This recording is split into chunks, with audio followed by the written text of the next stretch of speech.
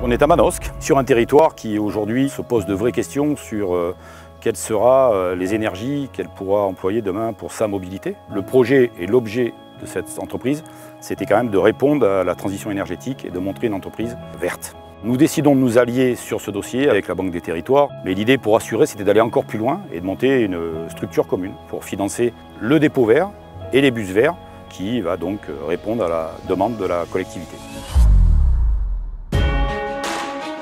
La Banque des Territoires est particulièrement engagée dans le dispositif Action Cœur de Ville. Elle accompagne 13 communes au sein de la région Provence-Alpes-Côte d'Azur, dont la ville de Manosque, qui est la ville siège de cette agglomération, et un des axes forts d'Action Cœur de Ville, et notamment l'axe mobilité, et qui plus est mobilité douce, décarbonée. Donc l'investissement total a été de 6 millions d'euros, dont 2,3 millions d'euros ont été investis par la Banque des Territoires en fonds propres et quasi-fonds propres. On arrivait, nous, un peu en terrain inconnu, donc il fallait qu'on se fasse connaître. la Banque des Territoires a été quand même un vecteur euh, facilitant.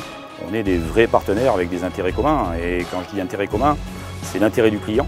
Donc on s'est retrouvé assez facilement sur ce projet-là.